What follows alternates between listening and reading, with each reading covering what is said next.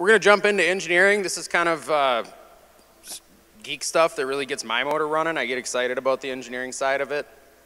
Um, so, you know, we talked about installation, we talked about a lot of the block properties, and this is where we kind of tie it all together, talk about some of the, the real brain power that goes behind these systems and into the planning and the R&D and all this other stuff. So, uh, if you are taking the NCMA test, this is also the section of the seminars you want to pay close attention to. I'll try to earmark some of the stuff here as we go along if you're going to take the NCMA test that I know you're going to find on that test. So the first part here is how all these wall components work together. We've talked about all the different styles of block we have. We've talked about pins, geogrid, uh, drain rock, you know, backfill, how important compaction is, base material, all that stuff. I had a guy uh, at break ask me if I use three-quarter clear under my retaining walls. Most of the time I do. I, I think uh, it's, it's a you know more solid base. It's going to hold less moisture, less fines, less movement. It is a little bit trickier, a little bit harder but to me, that's a worthwhile investment. So, um, you know, we've kind of covered all this, all these different facets and how stuff works together. Now what we're going to do is try to turn you guys not into engineers, but into somebody that can look at a problem. Some of you guys looking out here, I can tell some of you are owners, some of you might be foremen, some of you might be, uh, you know, guys that are going to be putting these walls in and working on them. It's important for all those different levels to be able to identify some of these uh, variables that are going to change your game plan dramatically. Uh, I own a company and I'm just a guy. I make mistakes, believe it or not. Ask my wife. I screw up all the time. You know, so like, I really appreciate having a foreman that's trained in that can identify some of this stuff if I miss something. You know, so it's, it really is, it's nice to have redundancy and, and, and a layered approach to putting these walls in because if you've ever had one fall down, and had to rebuild it, you only want to do that once in your life and you don't even want to do it once. Trust me, it sucks. So build the wall right the first time, uh, especially on large walls. Large walls can put small companies out of business pretty quick if you don't put them up exactly right. So uh, know when to call an engineer. We're going to talk about all these things. I'm going to glaze over it because we've kind of talked about, you know, unit properties. We know we've got a block that weighs 82 pounds. It's solid concrete. It's got a bunch of little holes in it for the pins. It's got some, uh, some, some cut lines or some, some break lines. And if you, if you look at these block, you can see on the back, there's that uh, rivet or that, that indent right there. That's meant to take your chisel and that's how you're actually going to split the block when you go to split it in half. So there's a lot of little lines on the Versa-Lok block. Uh, a lot of them aren't, aren't worth really, you know, running through and talking about a whole lot, but a lot of stuff going on. And uh, we've talked about that. We've talked about GeoGrid. We're going to talk a little bit more in depth about grid because, you know, just like everything else, I mean, I've had guys at these seminars. I mean, I do them all over. I do them in Davenport, Iowa, and, you know, Kansas City and, you know, St. Louis. I've heard some crazy stuff. Some guys think that it's cheaper to cut metal rebar and use that as a pin than pay the 25 cents for a, a, pre-manufactured engineered pin. Um, I've seen guys use crazy stuff for geogrid, you know, like some guys think that the orange silt fencing is going to work for geogrid because what the hell, it's going to tie everything together and I'm going to compact and do everything right. Don't use silt fence for geogrid. Uh, it's got to be a very specific strength. So, so make sure that you're not, you know, subbing stuff in, save a few bucks, do it the right way. Talk about the base, the beginning of every wall. Uh, you know, you always build from the ground up, so your wall's only going to be as good as your base material and your compaction and your, your uh, level on, on that base course. Going to make sure that we're basing out proper drainage. I would have put drainage at the top. I think drainage is probably the number one thing that I've gotten callbacks for. Uh, I've had projects that, you know, my God, you, if, you, if you're not out there when it's downpouring, you would never know that all the rain funnels off the roof 200 yards away and hits this little drain swale and it just ends up right behind where you're going to build your wall. Some of that stuff is just damn near impossible to see in foresight, to, to see it coming, right? So try to think about drainage, try to, you know, identify downspouts and do what you can. Always do your diligence when it comes to keeping water away from your wall if you can. If you can't, you know, plan for it, right? Maybe that means an extra drain tile or an extra foot of drain rock uh, behind your retaining wall.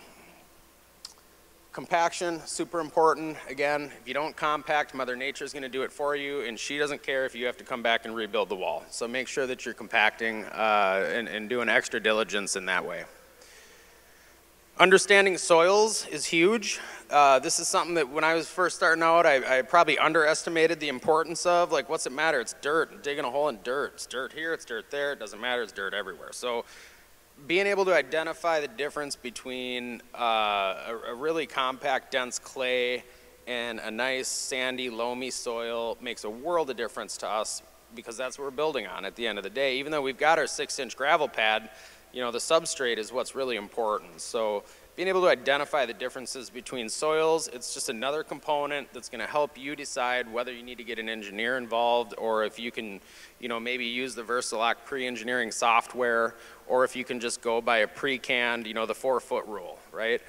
But uh, if you're not able to identify the soils, it's going to be a long road to hoe. So we'll talk a little bit about that. Unit properties, we've, we've gone through all this, about 125 pounds per square foot at the wall face. Uh, this whole uh, slide right here is, is all going to be on that NCMA test. Uh, it exceeds ASTM C1372 industry standards. Uh, it's all, you know, jargon, tech jargon for uh, it's, it's this hard and it has this much absorption. And uh, how, how, many of you guys are familiar with concrete absorption and how that's tested and how, why that matters? So if you have a concrete block, that weighs 82 pounds dry. What they do to test uh, moisture content or absorption is they literally will put that block into a tub of water for 24 hours. They weigh it before they put it in, they weigh it when they take it out. If that block weighs 84 pounds when it comes out, it's absorbed two pounds of moisture. That's a lot of water to absorb. But we know concrete's porous, and we know that concrete does absorb moisture. So every concrete has an absorption rate that's also why you see some of the older retaining wall blocks, like some of the original Keystone, they, they tend to spall so bad. You know, you see the caps cracking apart and the blocks cracking apart. That's because that concrete has a really high absorption rate. It's absorbing a lot of moisture. So it's much more likely to crack and spall. uh, you know, stable stability, it's got that two to one ratio. I know I talked about that with tiered walls where you want uh, twice the height of the wall between the tiers is extremely important. Well, that's one thing about the Versa-Lok block in its design is it's got that two to one ratio. It's 12 inches deep, six inches high, so it's a very stable block. Uh, and that's one more reason that we can build up to four feet in perfect conditions. So we've seen this, the pinning. Uh, you got to make sure that that pin goes all the way through. It it's got to get seated, you know, right, right in here. You want that shouldn't stick out at all because if that pin sticks out a little bit on the top of the block, it's going to set the next row off. It's the same thing we were talking about with the pebble. Uh, it's, it's just going to be something that you can try to fix. You can try to put a band-aid on a bullet hole, so to speak, but you're never going to get it exactly the way you want it. So make sure you get those pins fully seated. Friction contributes to strength. So what that's talking about is the weight of the block, right? The block weighs 82 pounds.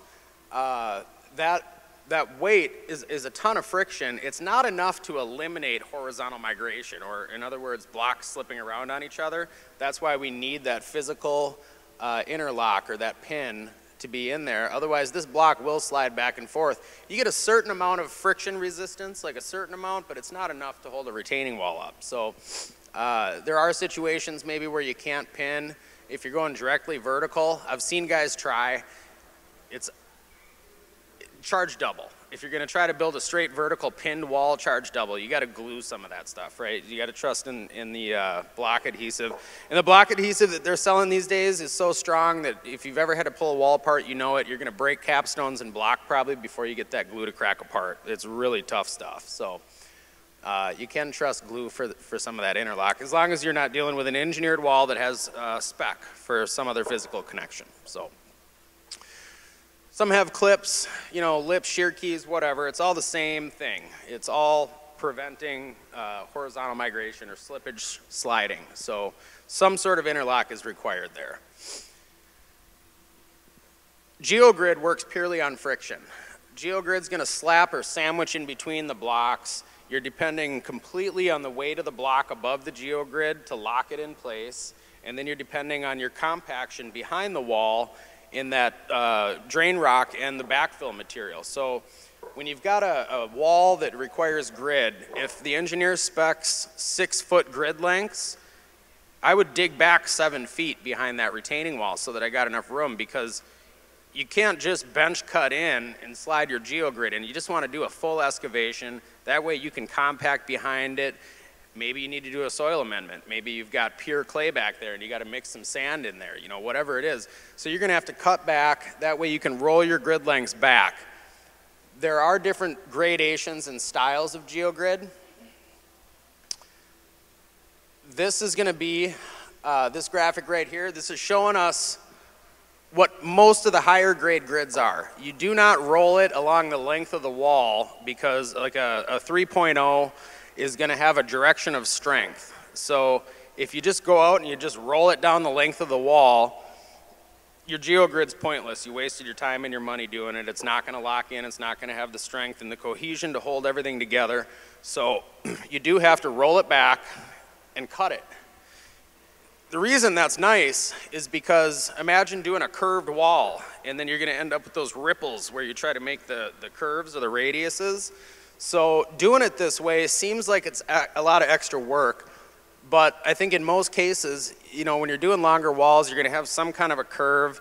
You want to make sure that you're rolling it back and that the geogrid is not on the geogrid. So if you're doing an inside radius and your grid lengths come back like that and make an X, you're going to have to put some soil or some rock or some material in there to keep your, your geogrid separated by, you know, I think they say about an inch and a half. Because it is just a, it's a synthetic polymer, it's slippery, it won't lock up. So the only way that geogrid's going to lock up is if you get it locked into soil, you want those rocks to get in those little crevices and just hold everything together really well. So there's our first grid length. Now this is by no, no means, don't look at this and be like, oh, well, if I'm building a four foot wall, I just need one, you know, grid length right there after the third row. This is just an example. Uh, engineer or pre-engineering software is gonna tell you where those grid lengths need to go exactly. And the side profile should look something like, you know, and I know I'm going way back to this morning, but that ziggurat thing, right? Should look something like that, where you actually see the grid lengths in there, kind of holding things together. And believe it or not, the engineers say that if you do your geogrid properly, you can actually remove the block from the face and that hillside is going to be sustainable. So the geogrid does a lot of work as far as stabilizing the soil behind the wall and reducing the load on your wall, which means less warranty work. Warranty work, you're not making money, it's free work, so just you avoid that at all costs. um, compacted road base, for the base. How many guys using limestone? How many guys use road base, recon? I use recon because I think the asphalt is a really good binder. I like this. I like the asphalt in there instead of the stone dust. Uh, you know, you can use clear rock too, but road base or recon, recycled concrete, I think I pay like eight bucks a ton for it or something. It's super cheap stuff. And, you know, I'm always looking for a way to sell my services. So if I'm working for somebody that I, you know, I walk up and I see a big, you know, think green yard sign or something like that, and I can tell that these people are, you know, they got rain barrels and all that stuff. Well, guess what? We use a green base material. It's recycled 100%. You know, this is the old Highway 36, whatever you know, so uh, nothing's going to waste. We're not using a new product. It's just another thing. If you're selling out there, think about ways to, to kind of be creative and, and, and round some of those corners off a little bit. It's cheaper. It does the same thing. Asphalt's a great binder. I've never run into problems substituting Recon for limestone class 5 or class 2. Six inch base. Uh, the 24 inch depth is based purely on a, a 12 inch deep block. If you're using uh, one of these Rosetta blocks that's two feet deep, you want to have at least three foot for your base. You want to have at least six inches of additional base material in the front and the back of your base row block. So again, if it's, if it's a 12, 12 inch deep block, you're going to go 24 deep with your base. If it's wider, like some of the Rosetta stuff is, you're gonna go wider with your base. I've had some blocks that, you know, come in at like 30 inches deep, so, you know, I just, I'll go in with a skid steer bucket and make a five foot swath, and, and uh, that also gives you the, the leeway where, you know, if you are doing curves and you're not completely sure, you know, sometimes there's a little bit of wiggle room where the curve's gonna start, where it's gonna stop.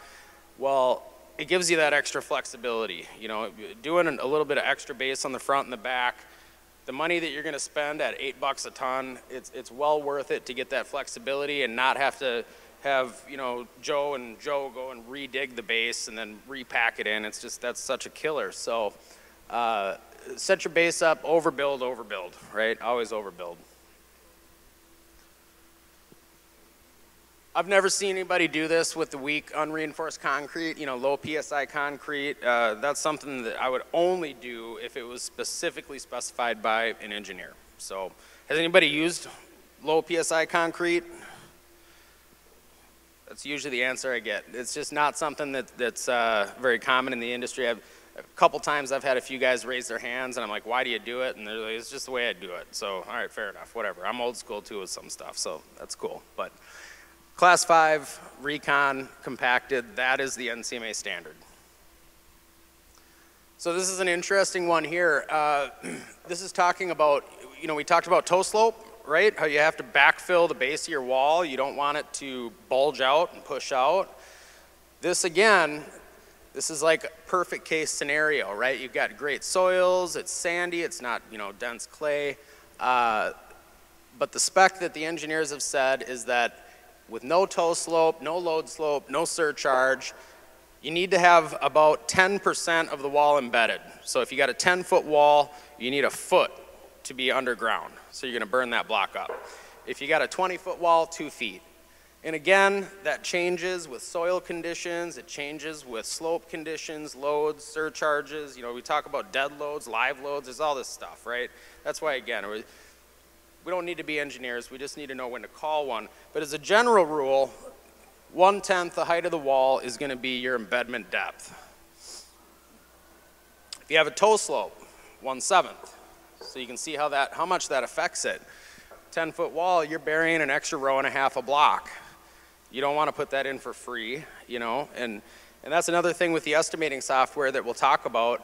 It's real easy as you're drawing up plans. Like I use a 3D CAD program so when I'm looking at my wall and I'm doing my sales presentation, you know, my wall might be 100 feet long and four feet tall. I'm not charging for 400 square feet. I'm charging for 500 square feet because I know I have to embed that bottom foot. So always be, you know, kind of thinking about that when you're bidding these projects. And that's another reason to use this software. It's a great tool. Get you to think about things that, that sometimes you would miss. So uh, we'll go over that after engineering. So again, drainage, uh, you know, pea rock, I, I, can't tell you how many walls I've torn apart that have pea rock behind it. And I mean, hey, at least they were using drainage. You know, it's probably better than nothing. But uh, pea rock is not what you want to use behind a retaining wall. You want to have a three-quarter clear. A lot of guys like using dolomite because dolomite's a little harder than limestone. Uh, there is a, a, spec that we'll get to here that, you know, it's like 0.05% of your drainage backfill can be uh, fines, fine particulate that holds moisture. Uh, you really need the majority of it, 99.995% to be open graded clear rock. And that's just, I always kind of think about, uh, what was that old show, had the Plinko game? That's kind of what your drain rock is supposed to do with the water. Because if you have a concentrated flow coming in behind your wall, you want that concentrated flow to dissipate through your drain rock. So it's kind of like that Plinko game, you know, they drop the disc down, it bounces all over the place, you never know where it's gonna end up. But you know that that water is gonna get broken up and you're not gonna get a concentrated flow that's gonna wash out part of your base or freeze and bow out one specific part of your wall. So always be thinking about water, drainage, drainage, drainage, and compaction. Massive uh, importance there.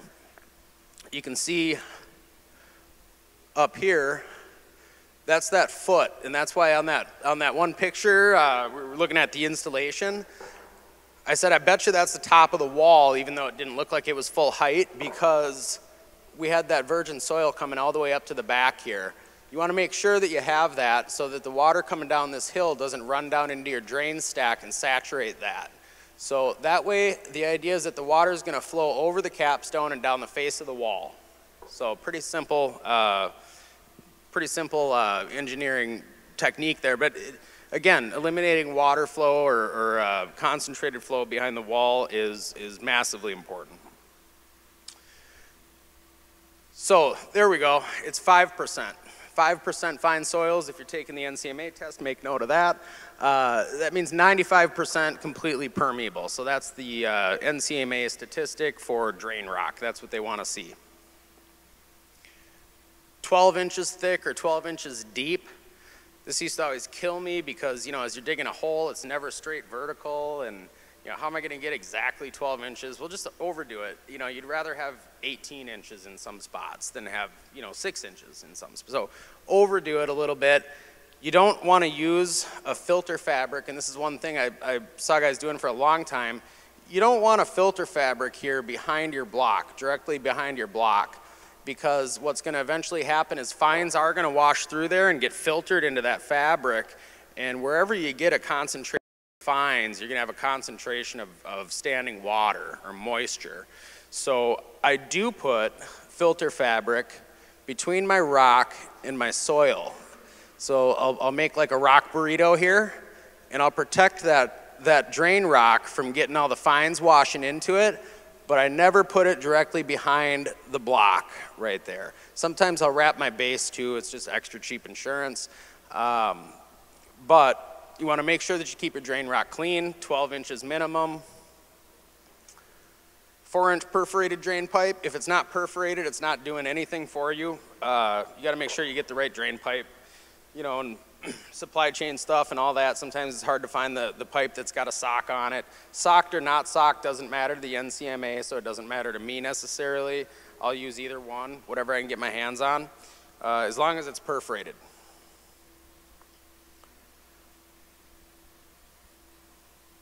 So what it's saying here when it says drain rock level with finished grade, it's actually talking about base grade. So uh, you can see the bottom of the drain stack here is about even with grade, and that's, that's pretty much what you want. If I was gonna, if I was gonna err on one side or the other, I'd rather have this drain rock be a little bit higher, just so that I know that as the water comes down this stack, it's gonna come out through the face of the wall, but you want it level or, or a little bit higher than. Uh, if you're taking the test, the answer is gonna be level, not higher, but. Um, that's the main thing there is that you're getting drainage and you're not having water sit behind the wall and uh, freeze up on you at some point. So we talked about using clear rock and this is a great example of that. This looks probably more like the side view that CJ had for his uh, Rosetta stuff. There's no separation here. We're just letting that water come down. I hate this picture because it's got the drain pipe below base grade. I don't know how you would ever daylight that pipe. It's impossible. So you would have to have that pipe elevated a little bit unless you got an opportunity where the yard's crowned and you can daylight it somehow like that. But um, just know that, you know, if you're gonna do a drain tile or a drain pipe like that, it's gotta come out to daylight. You can't just let that pipe run into uh, soil because again, it's gonna create an area that's saturated, right? It's always gonna be wet. But the drain rock can be part of the base. And there's advantages and disadvantages to doing this. It's harder to set up and get it perfectly level. You can't screed it back the same way because it's three quarter inch rock. It's just harder to do. Um, it's more expensive. Three quarter clear is, you know, I don't know what, 35, 40 bucks a ton. I can't remember what it is. Depends on where you are, but it's expensive. It's way more expensive than using like a recon.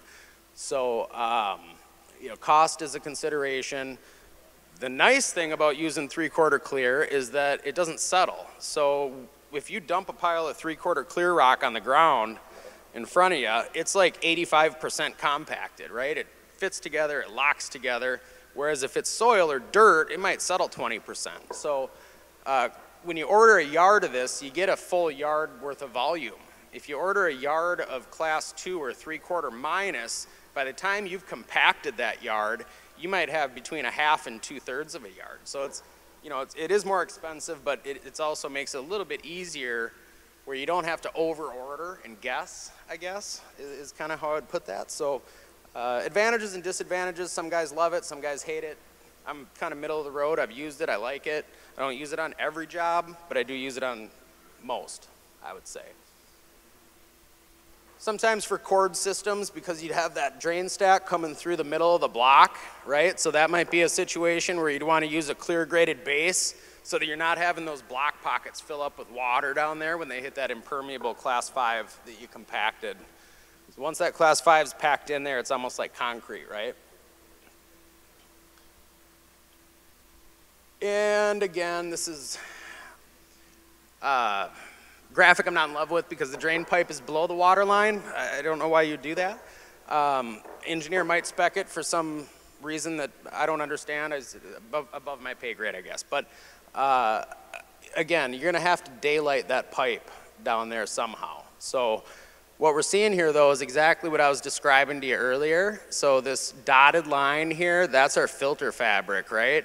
And again, you can see, you know, if you had it running right up the back of the block, you'd have to do the opposite sort of curve because you got your geogrid coming back. And that's what we see here is that it's been folded over. We're kind of making that rock burrito. But what it's really doing is it's keeping your base material clean and pure. Or your, uh, sorry, your drainage material, not your base. Uh, I would never do something like this unless it was spec'd by an engineer. Uh, having a chimney drain like that as a, as a first line of defense against water, that's something that is not going to be in the Versa-Lok pre-engineering software.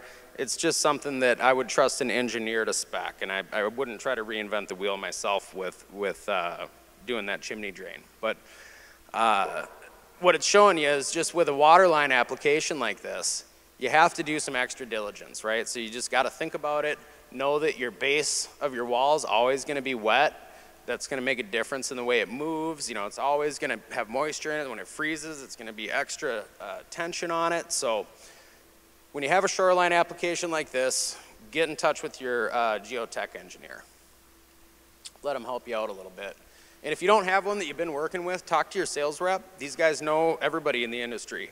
Uh, Kelly's been doing this almost as long as I've been alive, probably, and we've got Joe and years and years and years of experience. So if, if you need a good reference for a geotech engineer, ask your sales rep. I'm sure they can help hook you up. All right, so again, we're diverting water from, away from the back of the wall. That way we're not pushing water in behind it. Special engineering for groundwater applications.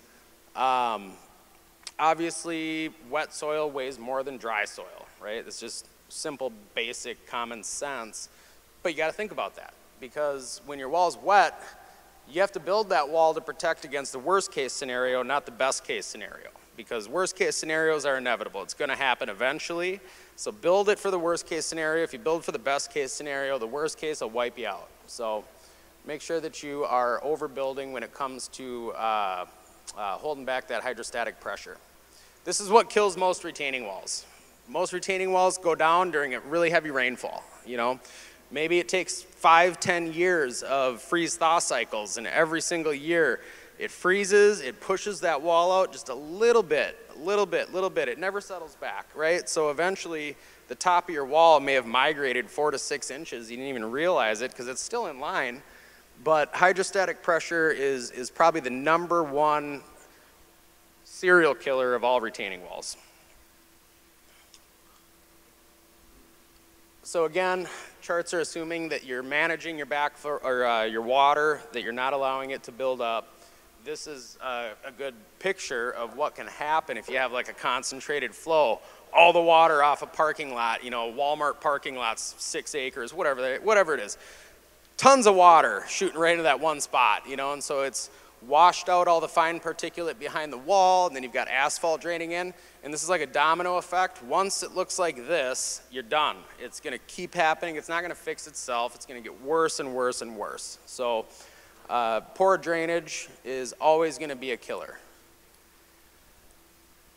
So we're going to talk a little bit about soils, uh, phi angles, shear planes. Again, this is one really important part of, of being able to identify how to build a wall, how far you need to go with your embedment, uh, geogrid lengths, all that stuff. And that's why some big commercial jobs you'll hear uh, you know, contractors say that they're going to have a boring test done, right? They're going to have somebody come out, dig down, you know, whatever it is. They use one of those little tube things. They'll go down like six feet, eight feet, whatever the application requires. They'll test the soil to see what's down two feet deep, right? Because you don't know until you dig a hole. But that's why these uh, soils are so important because if you don't do that test, you build on the wrong soil, your wall's gonna fail. So you gotta think about how soils are gonna affect whatever you're building on. Soils matter. Okay, compaction. Compacted soils the wall, we talked about that, how if you're using GeoGrid, the compacted material, we call it reinforced backfill. The reinforced backfill is actually going to become part of the structural integrity of the wall. So uh, that's how powerful this GeoGrid stuff is. This is all really good information for test takers. Um, think about your compaction equipment. Again, you know, if you got a little whacker, that's maybe two, three inches. If you're using a big roller compactor, it might be six, eight, ten. So you got to know what you're using uh, gauge your tool to your application and vice versa. Uh, in other words, you know, for a two foot tall wall, I would never think about bringing in that huge roller compactor. I'd use my little whacker. It's just more work because you got to go in two or three inch lifts instead of eight or 10. But um, again, keep the lifts thin. Max six to eight, I guess they're saying with the roller. That little packer, again, two to three. Uh, Standard Proctor is, is a term used for uh, material that's been compacted as much as you can possibly do it. So, you know, you, you put it in a, a vacuum, right? Put a certain soil into a vacuum and it gets compressed down. Once it reaches a point where it can no longer compress, that's 100% standard Proctor. They want your reinforced backfill to be compacted to 95% standard Proctor. Um, there are density, you know, you can use a, a density tester, uh, you know, and, and get super scientific with it. Does anybody have a trick, a quick, easy way to tell if your backfill is compacted enough? Take a 10 inch spike and try to pound it in. You know, that's, that's how we test our patio bases too. We want to make sure that you got to work. You know, if you got a, a six pound maul or something like that, that when you go to pound that stake in, it doesn't just slide in easy. It's got to be a hard push, right? You want to have to whack that thing. And that's just like a cheap, nasty field test, right? That's not something that you would ever use uh, on an engineered spec. But if you're field testing guys and you come out, you know, say you're the foreman or you're the owner, and you come out and you look at the material and you're like, dude, that does not look packed. It's just a quick way to go and prove and say, look, I, I know you didn't compact that properly because look at this spike just sticks right in there. So it's just a cheap, nasty field test. Heavy equipment, again, that's going to be on the test three feet back from the wall face, or I'm sorry, from the back of the wall, not from the, or no, that is wall face. The spec is wall face. So uh, three feet from the face of the wall, so that would actually be two feet from the back of these blocks because they're 12 inches deep. So uh, if you are taking the NCMA test, I know that is something that's going to be on there. Proper moisture content, also extremely important. If you have saturated soil, you wouldn't think about it, but like when dirt's saturated, a lot of that volume becomes water, you know, and that's why it gets so much heavier because water weighs more than dirt. So when you have a saturated soil, even though you think it's compacted, once it dries, you're going to lose a lot of that volume. So you got to make sure that your soil's not too dry and that it's not too wet. Uh, it really does make a difference having some level of uniformity uh, when it comes to moisture content. Jump through all these. So I said, you know, several times, if you don't compact and do it yourself, Mother Nature's gonna do it for you. It's probably gonna look something like that. You know, Mother Nature doesn't care, she's just gonna do what she does. So, you know, you end up with this little area that dives right down behind the back of the wall. And eventually, you're going to get washout to the point where it starts looking like this. And I've seen a thousand retaining walls that look like this, where the top foot of the wall is exposed behind it, right? You can, in, in, in the case of Versa-Lok, you can see the backs of the blocks. Well, that's because they didn't compact behind the wall. So it's, it's unsightly, it's ugly, it changes the entire grade of the yard. It probably screws up the water management plan that the uh, that the city planner had originally with the drain swales, you know, make sure that the yard is, is able to, to manage the amount of water that's coming off the roof and the driveway. Uh, so make sure that you're compacting behind these walls. And the other thing about not compacting, and that's a great point at the bottom, is loose soil absorbs more water than compacted soil. Compacted soil is more likely to let water run off over the top of it, where loose soil is like a sponge, right? It's just gonna suck all that water up. This is a smiling wall, and we always say a smiling wall is not a happy wall, right? And it's because what's happened is it's bowed out in the middle. Anybody want to guess what maybe the, one of the main contributing factors is to this wall's failure?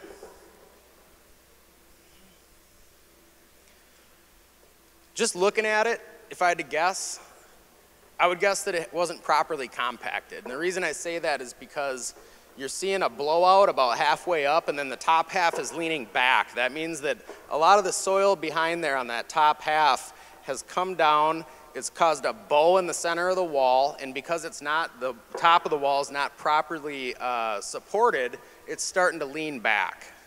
And once a wall starts to hit this point, you can't drive a skid steer into it and straighten it out.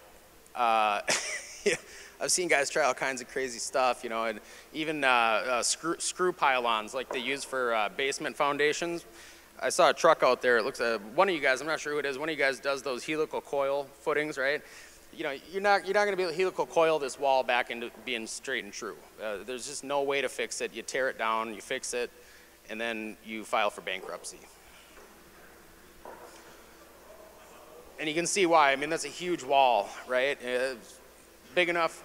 Most companies can't absorb that kind of labor to go out and fix that. It's almost a point where you make an insurance claim. I don't know what you do. I've never had this situation come up in my own personal life, but this looks like an absolute nightmare. So, and it was just because, you know, they used the right block. They probably used GeoGrid. As the top of the wall was tipping back, if they didn't properly compact, that GeoGrid's starting to work against them because it's like having somebody pull on the top of the wall, right? That grid is, is getting locked into the, the uh, uh, reinforced material and the drain rock, and all that friction is actually pulling the top of the wall down. So even though they did everything else right, they screwed the pooch on compaction, and massive failure was the result. So again, we talk about soils um, and how important they are here's kind of what you would see in the field, right? I've never seen something like the top. I mean, that's like almost base material, you know, that's, uh, I live in the South Metro in Lakeville, it's all clay down there, but, but I have seen stuff like this second picture, you know, and that's extremely gravel-rich soil there. That's like the kind of stuff that you'd expect to almost see at an old rock quarry. But down below it there, that's maybe more typical, where it's just a rocky, sandy, loamy soil. Um, gravel and sand, awesome. That's what we would call ideal conditions. So when we talk about a wall being four feet tall, uh, in perfect conditions, that's perfect conditions. Sand and uh, some, some level of aggregate. Imperfect conditions that aren't going to allow you to build a wall four feet tall unreinforced are stuff like this. This red clay, um, nasty, nasty stuff, right? You can make a ball out of it. It's rock hard concrete when it's dry, and then when it gets wet, it's like a diesel motor oil. It's just slippery and nasty stuff. Uh, that right there, you're gonna have to make some extra consideration for, you know, whether it be a couple layers of grid. Maybe you're gonna wrap your base material as a, an extra uh, protection against letting those fine particulates uh, reduce the structural integrity of your base. So when you see soils like that, uh, know that that's a red flag. And, and that's kind of how you start to identify when you need an engineer, right? One red flag, eh, two red flags, eh, three red flags, four red flags. Okay, I, I need an engineer on site to look at this, right? So that's all we're doing is kind of creating a threshold for those red flags. Um, this material here, you know, same thing, really thick, loamy, lumpy clay. Again, that's going to change the dynamic of your wall you're not going to be able to go four feet unreinforced. All right, talk about the drainage properties of these different materials. And again, I, you know, I use the uh, Plinko example. But you can kind of see what it is in real life. It's just taking a concentrated flow and dissipating it out, right? That way you don't have to worry about erosion. You don't have to worry about it holding water and freezing and freeze heave and, and all these other issues that come along with fine particulate soils. So what we want is angular, mixed sizes. That's going to make it structural. Also make it easy to compact. And like I said, when you dump uh, a bucket of three quarter clear on the ground, it's like, I don't know what is 90% or something compacted. You know, it's already compacted because it's so angular. So if you're using mixed size angular rock, it's already going to be more structural, easier to compact, and it's not going to hold water. So spend the money on the right backfill. This is what you don't want to see, fine soils. So, you know, you saw how the other, the, the water droplet kind of came through and dissipated out. Here we're seeing this turn into a sponge. And all those little teeny platelets are starting to kind of roll around like little ball bearings. That's what makes it so slippery. That's why you can't stay on your feet. You know, no matter how good your boots are, you're just going to be slipping and sliding. Skid steers sliding down hills. I mean, I've, I've had it all happen. Uh, one time I was sliding down a hill and I had to get the forks up like a scorpion and stick them down into the, the hillside to, to keep the skid steer from sliding down into somebody's house. Uh, and this is the kind of material that's really dangerous to work in when it's wet. So be able to identify that. You know, sometimes we used to actually set pallets up and stuff. You know, we'd walk on pallets instead of walking around in the clay and the mud. So uh, if you're don't do it with pallets that have deposits on them, but the paver pallets you can do it with. Um, it, wrecks pallets real fast, but it does keep your feet dry and it keeps your, your, your work environment probably a little safer. Extremely sensitive to changes in water content because it absorbs everything, it doesn't drain, it doesn't breathe, it's just stagnant. So once the water gets in there, it takes a long time to dry out. And this is probably the best graphic I've ever seen to explain the angle of phi. Uh, I'm sure all you guys have been into rock quarries and you've seen the different piles, and you may or may not have noticed that some rocks, like uh, say a, a pea rock, they're going to be angled like this. And a more angular, like a three-quarter clear, might be angled like this. It's, it's steeper slope on the sides, right? Well, that's the angle of phi that we're going to talk about, or shear plane, or failure plane again, it goes by many names, but it's a great example of what that means. And the reason it's so important to us is because that's what you would call a sustainable slope. That's never going to erode, it's never going to wash out. It's the side of a hill, it's the side of a mountain, whatever. That's why in Minnesota, uh, you have to have a three to one uh, ratio or you need a retaining wall, especially on new properties. Like sometimes you get called in to bid a retaining wall on a brand new house. It's because they couldn't get their certificate of occupancy because they had greater than a three to one slope on the walkout hill or whatever it might be. But that's because that's the sustainable slope or the angle of phi of most, most ground material in Minnesota and you know, heavy clay. But that's what we're about and that's why we need our grid lengths to cut back into that angle because that is where you're getting your strength. That material's locked in, it's not moving anywhere, it's not sliding around on you like the rest of the stuff. So there we go. Phi angle, friction angle, failure angle, shear angles. It goes by many names, the same thing. Silt and clay, 26 to 30 degrees. So, you know, you're seeing a, a, fairly gradual slope there. Sand and gravel gets a little bit steeper. And the reason, again, that we want sand and gravel is because look at how much extra space that gives us to get our grid lengths back there, right? So, it, you know, might be at the top two, three feet difference in grid lengths because the grid can get back and it can get into that phi angle and into that sustainable slope. And that's what we need to lock into in order to hold our wall vertical.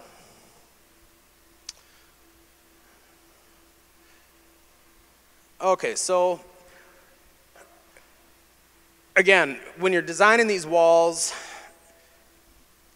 don't just go out and measure and go, okay, we got 400 square feet, I'm charging 50 bucks square foot, whatever it is. Uh, you gotta really do your diligence when it comes to the soils.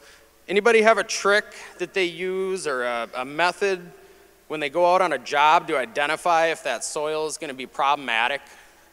If it's sandy or if it's heavy clay? I can usually tell real fast. I don't have to put a shovel in the ground. I just have to ask one question. How often do you water your lawn? If, their if their grass is super green and they water once a week, I know they have heavy clay because that, that ground is holding moisture in. If they say we water twice a day, and their grass looks like, you know, brown crap everywhere, you know, whatever. I know they're in super sandy soil, and I'm sorry it sucks to keep your grass green, but this is great for me. This is what I want to build in. So uh, that's just a cheap, again, dirty field trick that you can use to identify soils, uh, you know, spitball approach, so to speak. But it seems to be fairly, fairly accurate and fairly true. So that's one question I always ask. How often do you guys water, you know? Why do you care? You're not here to look at the irrigation. I know, but I could explain it to you. And some people like to hear it. Some people you can immediately see the lights shut off. They don't care. But uh, for, for guys that are in our industry, it's, it's good information, I think. So again, six inch leveling pad, aggregate for drainage. Think about your soils, make sure your compaction is done proper. So this is going to be some of the same information, but some new stuff injected here as well. Uh, so we're building a four foot wall. I think that's eight rows of block there, you know, six inches a piece, one embedded. Uh, this is again where we're seeing that phi angle because this yellow material right here is only being held up by the weight of these blocks. There's no additional uh, soil reinforcement or structural integrity behind this wall. It's just a wedge, a pie-shaped wedge of unstable soil. That's why if this wall fails, whoops, there we go. So again, different, different soils, different materials. But if this wall fails, you're only going to see the shear plane fall off and slump off. The rest of that material is going to stay put. And that's what I see. You know, when I see a failed wall, I see a, a pile of material. It's not a huge washing. It's not, it's not the whole hillside. It's just that unstable wedge that, that washes out. And that's, again, why we've got that four-foot rule, because when you look at how this wedge works, and you, you think about the volume, right? Down here, this is just a teeny little triangle. And then up here, that same one foot section of wall is holding up quite a bit more material if you break this into lines, right? By the time you get to the top, that's a large volume. So if you add just one foot onto this wall, you might be adding a third to the load, right? On a four foot wall, five foot wall, you can't just add one foot to these walls. They will fail. As, you, as that phi angle goes back, it goes to infinity. That never ends. So the taller your wall, the larger the unstable wedge is going to be.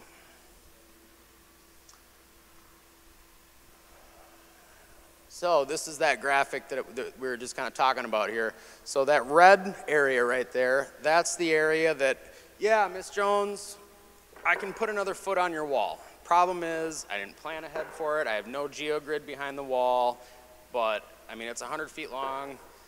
I can just stack it up easy. That's an extra, you know, 100 square feet for me at 50 bucks square foot. It's not a bad day at the office. It's really tempting to add that foot to the wall. If you do that, you need to understand that you're adding, you know, maybe what, 20% to the overall height, but you might be adding 40% to the load that the wall's carrying. So be very careful about adding to these walls. So there we go. We're going to see that unstable wedge eventually have its way with the wall, and you end up with something like that, right? Uh, lots of stuff going on in this picture. I can tell. What's the first mistake these guys made?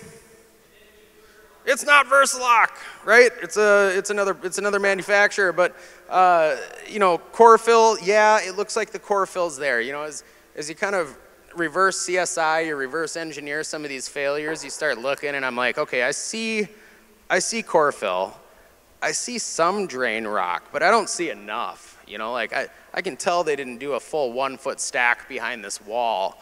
I don't see a drain tile. I see that the wall is much higher than the soil behind it, which tells me that they didn't probably compact properly. I don't see geogrid. This wall's over four feet. Looks like less than perfect conditions. So, you know, it's like the sinking of the Titanic, right? It's, it's, not just an iceberg that sank Titanic. A bunch of things had to go wrong leading up to that iceberg. And it's the same thing with these retaining walls. one thing, you know, you do one tiny thing wrong, it may not cause a failure, but you start to compound problems like this, and you can guarantee failure on your wall. All right, so we're going to pull that top foot back off. And then we're going to add a, a, a, what we call a load slope, or a, a top slope. Now, again, we talked about that three to one ratio. That means over three linear feet, you can only have one foot of vertical rise or drop. That's a three to one ratio, and that's what engineers in Minnesota have said is sustainable. So let's max that slope out at three to one. Look at how much extra material is back there. And again, that's why it's so important to understand uh, what you're looking at because without that slope behind there, it's just fine at four feet. You know, the yellow stuff, that's, that's going to be reinforced or held in place by the block, the weight of the block, that 125 pounds per square foot. But when you double the load, that block's not designed for that, right? So adding a load slope, you might double or more the load that that wall is expected to carry. And of course, it's going to become unstable and we're going to see another failure.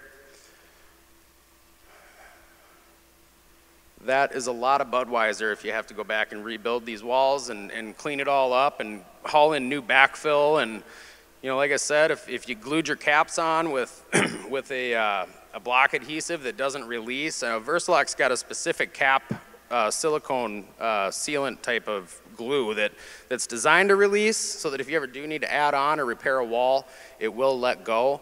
I would never use it on stair treads, but um, if you're using a glue on there, you're probably going to break caps. You're going to be buying caps, but the main thing again is the labor.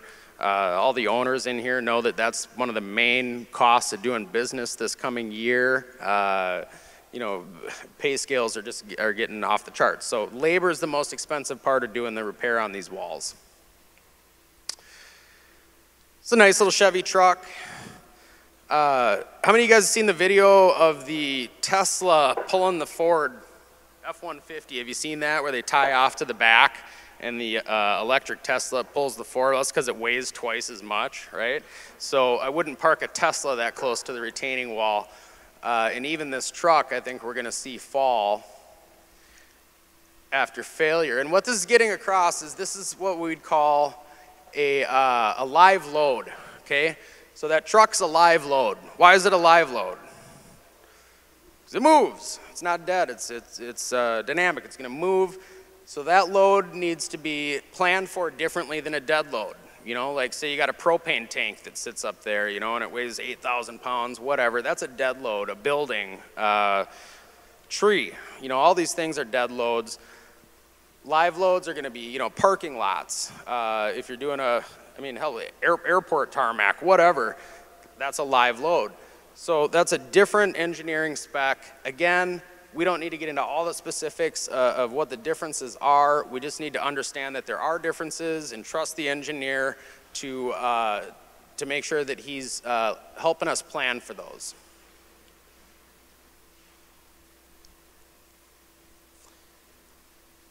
So different units have different heights that you can build to and you know again talked about the 125 pounds per square foot on Versa-Lok the square foot block, uh, Jimmy, what does that weigh? 85 pounds? The square foot block is 100 pounds? What about non-DOT? Little, little over 90. So the difference between the square foot block and the standard Versa-Lok, if, if a square foot block weighs 90 and a block and a half of Versa-Lok weighs 125, that's 35 pound per square foot difference in weight. So that means that wall or that block is going to be capable of holding back a lot less. When you core fill it, you do add weight to it, and that adds stability and structural integrity to it. So I don't know, Jimmy, do you, do you know what those weigh once they're core filled? Probably pretty close. It doesn't get quite as much. So even with a fill, a square foot block is still going to weigh a little bit less per square foot at the face. Um, and that's why all these blocks are different. You know, some of the like little Menards blocks, you've seen that, I think they call them Windsor blocks. They're like four, four inches tall, 12 wide and 8 deep. I think they weigh like 23 pounds a piece. You know, it takes like five of those though, or four of those or whatever to be a square foot. Um, you still, because it's only eight inches deep, you're never gonna hit that 125 pounds per square foot at the face, which means those walls, and if you read close, those little Windsor blocks are really only designed to go like two feet tall. They're, they're really just ornamental garden walls, you know, so I cringe a little bit whenever I see those things, you know, six feet tall and they're always bowing and they're never capped and whatever. It's always a DIY thing. But, but again, different blocks are going to have different thresholds for height. Versa-Lok kind of exceeds most of those, uh, most of the competitors when it comes to weight. Not a lot of blocks are manufactured solid like Versa-Lok. A lot of them do have some kind of a core fill or they've got some sort of you know, I've seen indents where it's almost like a Lego, you know, like some way of reducing weight, right? Sometimes they found a clever way to tie together uh, reducing weight with some sort of a physical interlock where it becomes part of the key system or whatever it might be. But just know that if you're building with a smaller block or a core fill block, don't plan on going four feet tall. We talked about this earlier. This is again why I like to set my base row leaning back into the hillside just a little bit. I just want to make sure that the opposite's not happening. And if this base block is tipped forward, you're starting your retaining wall's life with a lot of uh, uh, problems right off the bat, right? So, I mean, this is like not a good start to a wall. You want to make sure that you have it tipping back, if anything. Vertical's fine. All of the engineering specs that you read are designed for that three-quarter setback. As long as you match or exceed that, you're doing just fine. So lots of ways to sturdy up your wall. You can use a heavier, deeper unit. That's what we have over here with these Rosetta blocks. Uh, geez, Rosetta, I think in perfect conditions, is CJ still here? I think you can go like six or eight feet, right? Is it eight? I think it's eight feet. So these Rosetta blocks, they weigh more. They're deeper, they're heavier, they're more stable because they're two feet deep. You know, machine set, it's just a different animal. They're also a lot more expensive, right? There's, so there's a trade-off, but um, you can build up to eight feet unreinforced with the Rosetta outcropping. The Rosetta Belvedere, I wouldn't go more than two feet with that because it's eight inches deep. There's just not enough weight uh, to hold that together. And again, with these Broncos, the thing I've been holding myself up with all day, you know, they're so heavy that you can go eight, maybe 10 feet unreinforced. 15? 15! So that's a really tall wall with no geogrid. What does that mean to me? If I'm using a thicker block like Rosetta, I care because that means I'm gonna have to displace a lot less material. I'm not gonna have to dig back 10 feet to get my grid lengths in. I can cut back three feet. I can build my wall vertical, get my one foot of drain rock behind it, take it to the bank, I'm done, right? And that's a ton of time to move that material. So when I might switch, say from like a Versa-Lok to a Rosetta, is say I'm in a really cramped area, right? It's really tight. I, I just can't even dig back. If I dig back what I need to get my grid lengths, I'm taking out the neighbor's fence or his garage or something else. Doesn't matter. But that's when I might start to look at, you know, a Bronco or a, a Rosetta that I can build vertical with without doing the, the uh, geogrid Maybe I don't have room to stage all that material and then put it back in. You know, there's just, there's lots of variables. So you can always increase the height of the wall by increasing the weight and the uh, stability of the unit. So we talked about how site conditions, loads, slopes, soils, SRW uh, properties. 82 pounds a block, 125 pounds per square foot. I think some of that stuff might be on the NCMA test. Um, but know that these are the primary contributors to planning out a wall and making sure that you're not going to see a failure. We'll run through grid. I know we already talked about it a little bit. Uh, there are two types of grid. One is unidirectional and one is bidirectional. Typically, the higher gradation of grid you're going to move into what we call a unidirectional grid. In other words, you can only roll it out in one direction. You can't roll it out down the length of the wall. 1.5 you can. 1.5 only comes in four foot wide rolls. It's the lightest, it's like uh, GeoGrid, diet GeoGrid, right? It's, it's just the lightest variety that you can get. You might use that on your three foot wall that, that's carrying a load slope or a surcharge kind of a thing. Probably not going to use it on taller walls. So again, we've seen this. You roll it back, the weight of the unit, sandwich it in there. And this is where we're going to kind of see how GeoGrid ties these elements together. All these different components from the drain rock to the backfill, you know, whether it be reinforced or unreinforced, to the block, the pins, the base, it all works together. Uh, every finger has to work to make a fist, so to speak. So uh, all these components come together to create an incredibly stable system that does work as long as you know what to look for. So again, we're looking at these grid lengths, right? Let's use the scenario that I was talking about uh, before. Well, we'll talk about this first. So, so what the GeoGrid has done here is it's turned that wedge into a large solid block. All the soil between the grid is considered stabilized soil or reinforced soil. So you actually bump that yellow wedge back. But now, what you've done, look at this. I mean, now you've got five feet behind the retaining wall of, you know, reinforced uh, material. That, that weight and that material, as long as it's reinforced, becomes part of the strength of your wall. So it can withstand that yellow wedge behind it no problem, right? Because we've added that much mass to our structure. We didn't do it with concrete, we just did it with geogrid. And uh, this stuff is, is miraculous. We've got, we got all kinds of data on it, and there's a couple of, uh, maybe we'll do the, the sand test later, a couple of uh, visuals that we do that really help to drive home how important geogrid is. So when it says not a traditional tieback, it means it's not a dead man anchor per se. It's, you know, dead man anchor 2.0, whatever. It's, uh, it's just a, a, a newer, better way of reinforcing the soil behind our wall.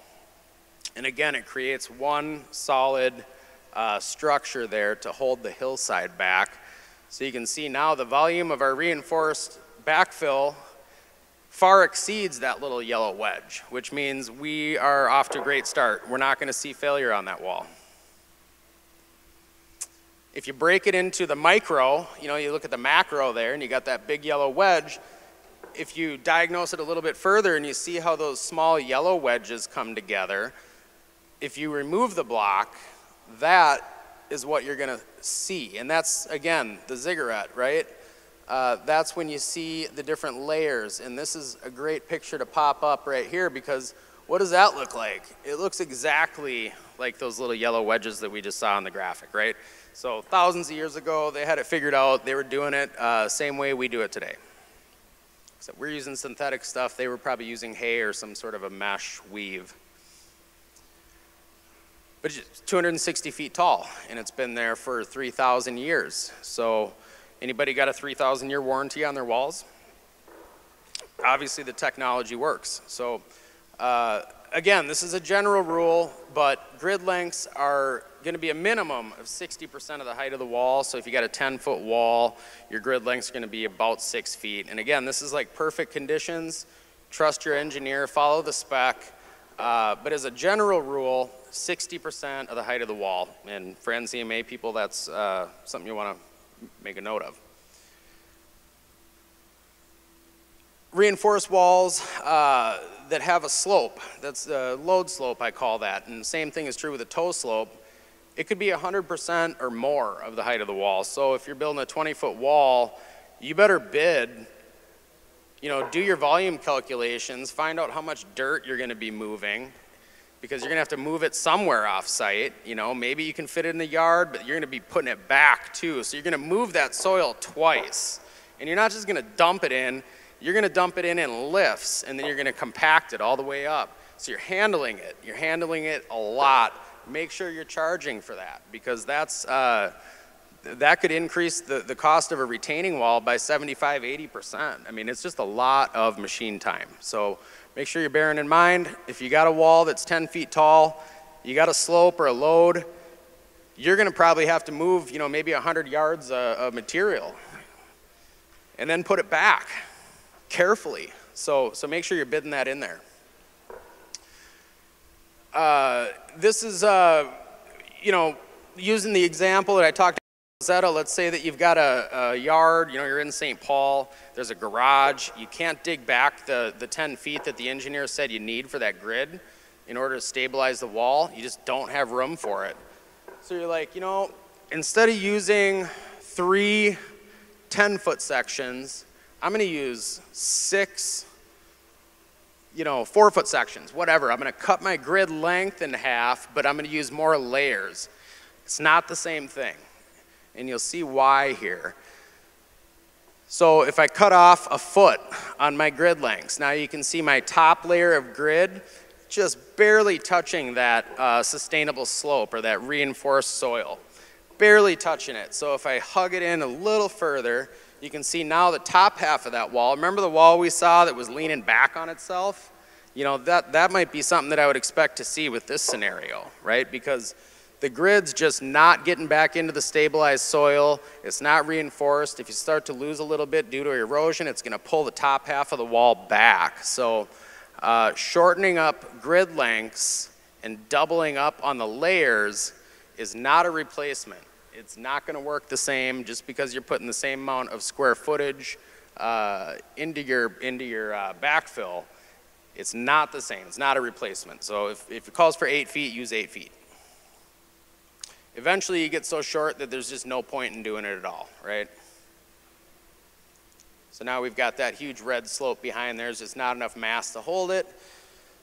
Again, talk a little bit about global stability, but that's where you start to see some uh, global stabilization issues. You get the divot in there, you're going to push water behind the wall, and again, it's a domino effect.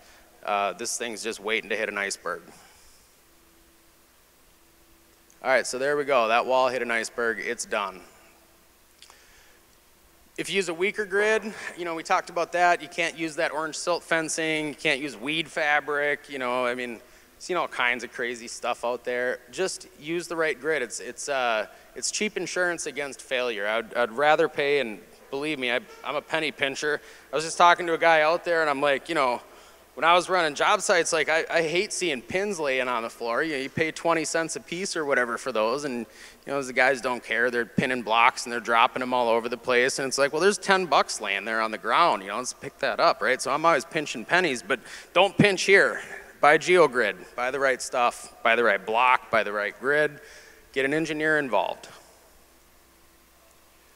Eventually, you'll snap that fake GeoGrid and once you snap your geogrid, you've lost all of your soil stabilization and you're going to see failure.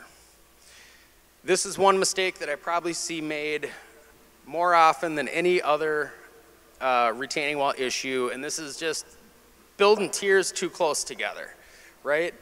Uh, lots of reasons not to do this. I would definitely, I'd prefer to have this be one wall, but I know, I get it. Miss Jones wants a garden and she's got deer or whatever, and the wall's gonna be tall enough so the deer can't eat her tomatoes. Who cares what it is, right? I just want a little three foot garden section there. Well, it's real tempting to give her that, and you can, but know that you're gonna have to grid that bottom wall. Because if you don't grid that bottom wall, this top wall is built in the failure plane of the lower wall. So eventually that weight is gonna overcome the bottom wall's ability to withstand it. So you can see here, two to one ratio. So whatever that exposed height is, you don't include your embedment. So if you got a three foot wall and you've got six inches embedded, you don't have to go back seven feet, you have to go back six feet. So whatever the exposed height of the base wall is, go back twice that. And again, you can give Miss Jones the tomato garden of her dreams. Uh, you know, you can get grid in there and then create a stable section so that you can build a second wall on top of it. But if you don't put the geogrid in there, uh, again, you're, you're just creating a large unstable wedge, and that's why we say stick to that two to one ratio as a general rule. And, you know, that two to one ratio is just like everything else we've talked about. It's subject to change based on environmental factors, right? So kind of soils you have, slopes, all that stuff.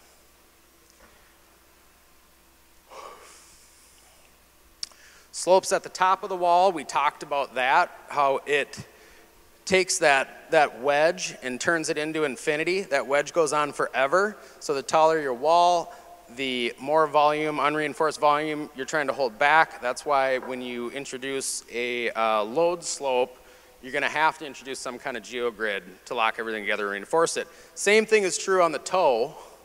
And that's why we saw that schematic earlier where on a flat surface, you only need 10% embedment. On a toe slope, you might need up to 15 or 20% embedment. So you have to make sure that you're identifying these as, as potential issues. I hate building into toe slopes because it makes everything dangerous and uh, difficult on the low side of the wall. I'm almost always if I come in with a machine and I'm doing the excavation, I'm almost always going to cut a bench in there so that I got some flat space to work, right? Maybe a 10 foot bench in there. That way I can drive my skid back and forth. I don't have to worry about every time I set a pallet down, the top row slides off and breaks Joe's leg in half and, and all that other stuff. So, you know, you create a flat bench, but what you do when you do that is you're creating an unstable wedge, right? So you know eventually if you just left that bench, it would erode down and hit that phi angle or that shear plane eventually. So you have to know that going into it too. You're going to have to return to the toe slope even though you create a temporary bench. So you're never going to get rid of it, but at least while you're working, uh, it is nice to do a bench cut so that you got a flat place to work from, just safety stuff. So here we go. Uh, we talked a little, little, bit about global stability. It's not something that's going to be covered heavily on the NCMA test. Uh, but I think we're going to get into that here in a, in a slide or two. So you can see with a toe slope here, even with the reinforced volume, you still have to go deeper with your embedment. If you do the same thing that you would do on a flat surface, you're going to experience global instability where the bottom wants to start to slide out a little bit. And that's what we're seeing here is that your whole wall can lock together. And I've seen pictures of this. I've never had it happen to one of my walls, but I have seen pictures of walls built into a hillside. Like, you know, it's the house on the hill, right? The one way up at the top. And they got a retaining wall, a third of the way down their hill. I've seen a whole wall stick together and slide down 100 feet. You know, like it'll, it'll still look decently put together. It's still pinned, you know, the caps are still attached. The whole thing just global instability. So you can, you can counter that with either longer grid or a deeper embedment. So you can kind of see how these walls will slide around a little bit. It's saying here, you know, the engineer's gonna have to lengthen your grid, cut back into that stable slope.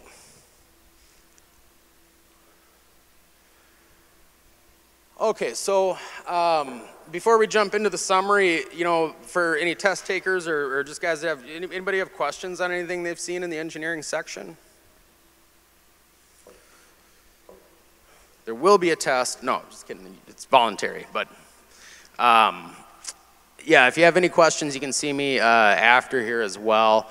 So, you know, just to summarize, uh, we've talked about, you know, what goes into the wall, the different components, how the, the fingers make a fist together. They have to all be there. If you're missing one finger, it's not a full fist. Uh, so make sure that all the components are working together. Importance of geogrid, soil reinforcement. When I first got into retaining walls, it seemed like voodoo. I'm like, looking at these concrete blocks and then I'm looking at this little roll of like saran wrap and I'm like, you got to be kidding me. You want me to put that in behind there and you're telling me it matters? Well, it matters dramatically and it makes a huge, huge difference, believe it or not. Kind of seems like, uh, you know, magic or voodoo, like I said, but that geogrid, it's been, it's been being used for and utilized for thousands of years to reinforce all kinds of stuff. I mean, you look at uh, ancient Aztecs mines, all of them use the same, same engineering technique. Don't be afraid to call for help. Um, you know, it's just like anything else. Uh, these guys, and, and that's one thing that really got me going with Versa-Lok when I was getting started is there is not a better support structure in the industry. most companies, and I'm not going to name names, you guys, I'm sure you guys have all used competitors, but most companies have one rep for like the entire Midwest region, right? And you don't see that guy unless A, there's a massive problem with one of the products, or B, you know, you're a big company and you're putting in a, a 20,000 square foot driveway or parking lot, whatever, maybe that rep will visit you for a day. These guys bring Gatorade to the job sites. You can call them with questions.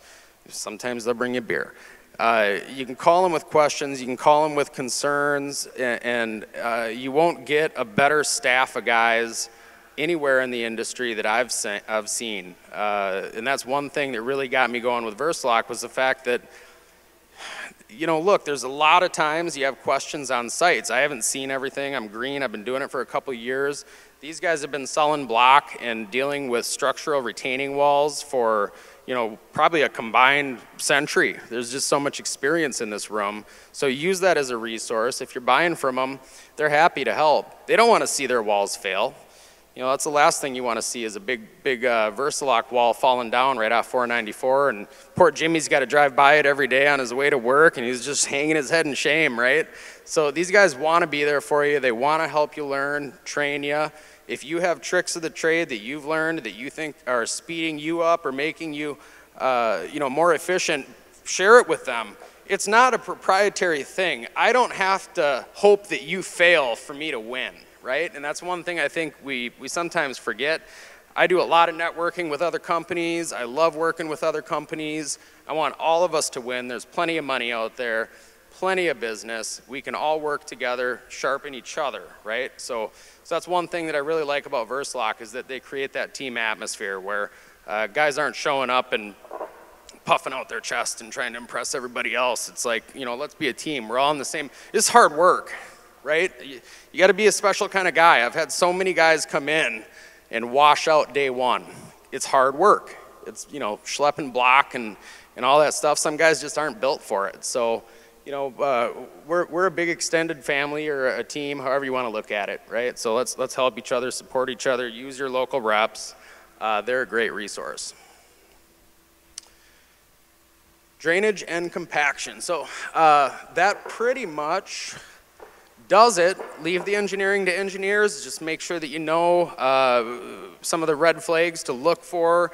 Like I said, one red flag, maybe you don't have to call, but two red flags, three, four, five, it starts a compound, call somebody.